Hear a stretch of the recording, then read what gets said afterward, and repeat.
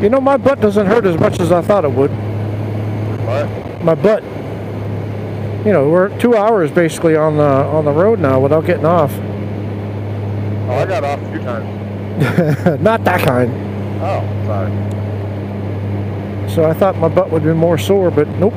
I think it was I was just getting annoyed at all the, you know, right turn, left turn, right turn, left turn, right turn in the city. Oh, yeah. Now we're doing this beautiful road here. Let me put my visor down here, or not visor, the windshield down. At least now you can see, hopefully, better. Now that I have the GoPro Hero 10. Is Moose taking a drink? No. No? Okay, I thought you were taking a drink. I don't know if you all can see this very well, but this is a, uh new system that we have kind of jury rigged. It's a Yeti cup with the whole thing, not the slidey thing. And I got a CamelBak hose, ran that down in, and I got the CamelBak bite valve so you could bite to get water and then unbite to just stop the water. And that's nicely. yeah, it worked out. And I got the little clip to hold it in my giant ass cup holder. So I don't know if you want to do the same, but I'm having a good time with it. Is that a liquor store? That says ABC next to it, and that's a little dinky place. Wow.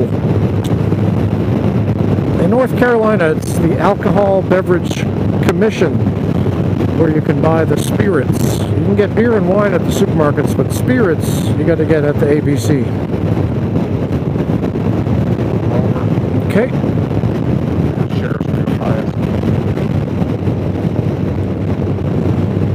So um, we are on uh, what is it 501, 15501, something like that. Yeah. Outside of Durham, north of Durham now, heading toward the Virginia border.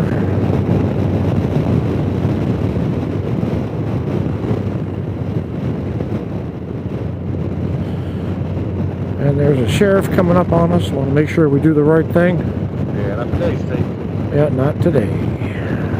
Doing 4 to 5. Person County. We are in Person County. That's tobacco.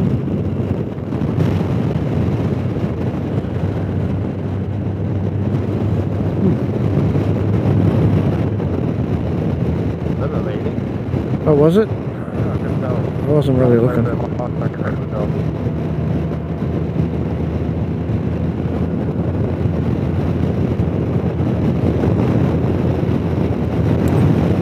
Moose and I were talking earlier about technology in vehicles like cars and motorcycles and how some people pine for the old days when you could do most of the work yourself. The engines were very simple. Didn't really take a whole lot to get them working right. And I think we both agree, Moose and me, that uh, we don't really want to go back to those days. I like the technology. I think Moose would agree. Yes. You don't have to worry about whether or not your car is going to start in the morning, which is wonderful. Yeah, I do it. I mean, think about it. Back in the 80s, let's go to the 80s. Yeah. 100,000 miles, the car was worn out. Yes. That's what people consider, you know. Want that. Got 100,000 miles on it. Exactly. It's going to die. It's 150,000. People don't have that and I have it. Yep. Tolerances, the build quality got so good. The sensors, you know, to keep on it. Better. Sure, sensors are a pain in the ass, but Yeah. Totally agree. And motorcycles too. I, I love the technology on these. I, I love not having to worry. And if you go to a higher elevation, you know, because it's electronic fuel injection, you don't have to worry about it. And you got heated seats and all this wonderful, lovely stuff. The automatic transmission, blah blah blah.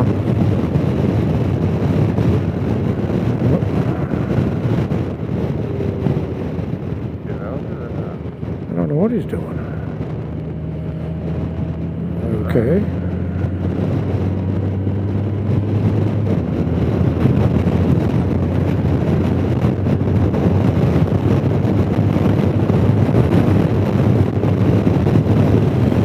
Now, some who are very sensitive about the Harley issue might might think that I'm trying to somehow secretly criticize Harley. No, no, no. Harley's got all the modern stuff now too. It's got the traction control. It's got the ride modes. Got the EFI and the throttle by wire. And I've I never once, even my 06, I never enlisted the battery. I mean, anything got better. yeah. But even nowadays, I mean, I better, I wouldn't even hesitate to go out and take my Harley and not start. It's gonna start. Yep, it's gonna start. Long as I take care of most of the maintenance, Yep. you know, I don't have to worry about the carburetor getting kept, uh, all this crap. It's gonna run. I- I'm a long proponent of the, the fact that Harley Davidson does have quite a few modern innovations. Now, I know the anti Harley crowd will say, well, yeah, maybe so, but still the V twin is a dinosaur. And I, I'm, I'm not going to speak to that because it's irrelevant. It's an engine and it has its good points and its bad points, just like anything. So, uh, we were uh, in a Harley dealership recently up in uh, Raleigh, Tobacco Road Harley. You may have seen uh, a video when we pulled in there and we made a joke about the reverse gear. but um, the point of it is, you know, we still went there and we looked at the bikes and we saw them and I'm still a fan of the Fat Bob. I like the Fat Bob. I just like the way the Ultra looks. Yep, I, I always will. yep. And uh, I saw the Pan American, and it looked a little bit, maybe because it was up on a stand, it just looked a little bit too tall. Uh, too heavy for what it was, but I don't know. I, I didn't test ride, I didn't even get on it because it was up on a stand. Yeah, they didn't have any in, uh, in stock that were, uh, Yeah, nothing on the floor. sale. Which is good because that means they're selling them, and apparently they can't hold on to them, so that's a good thing. And that's bad, they never got it. Eventually, uh, I'm thinking that Harley will come out with a sport bike of some kind. A street fighter like they developed before. And that would be nice. I would definitely give that a try.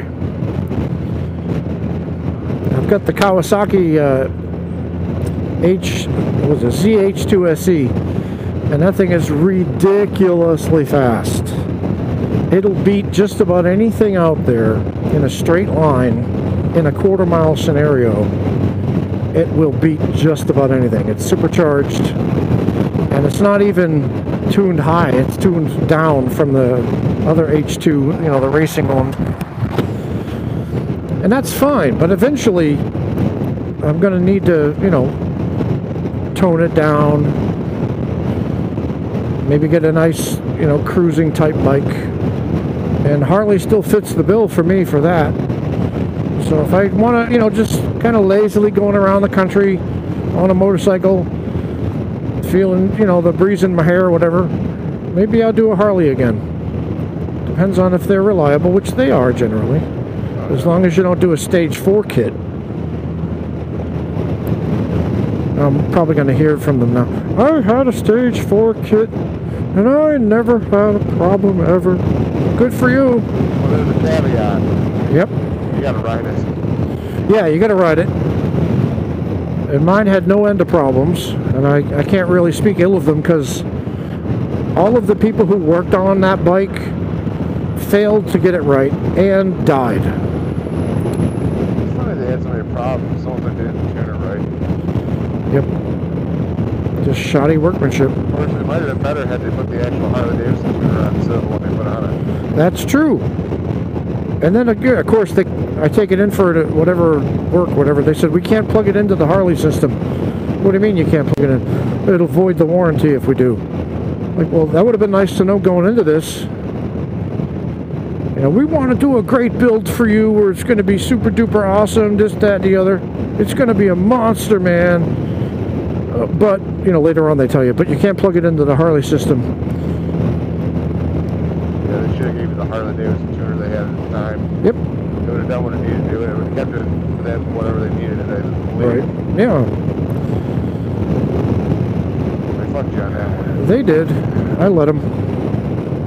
You know, I was all about, you know, if I'm going to let this bike come to its full potential, these guys know what they're doing, I thought. they know how to make the bike go really fast because Ray Price Harley is what it was. Ray Price was a very famous Harley drag, you know, drag strip rider.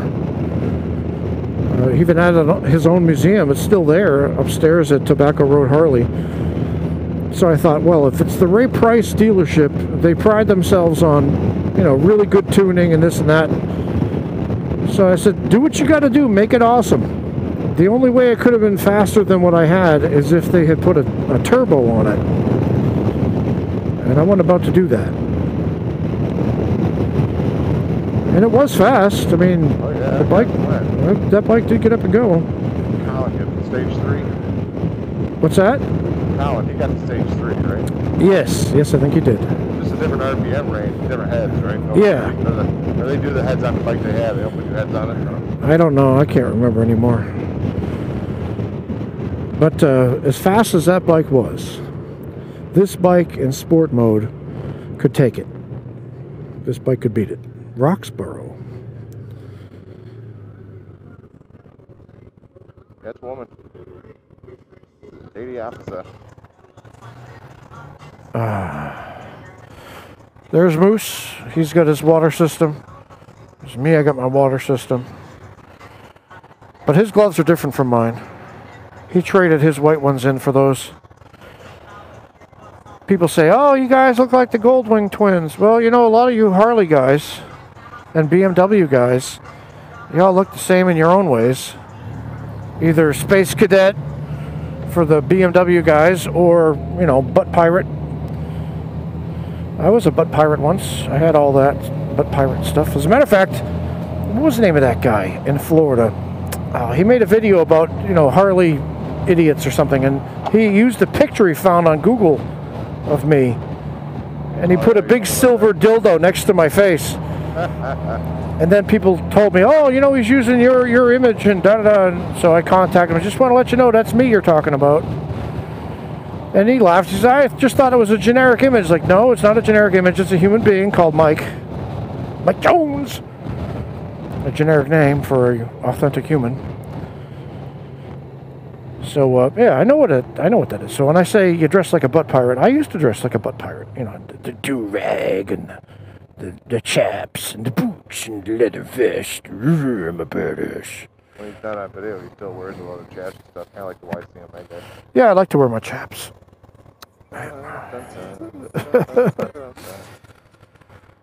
All right, so on that lovely note, I'm going to sign off for a little bit here. And Don't forget to like and subscribe. yes, don't forget to give me money. Give me money. See you, folks.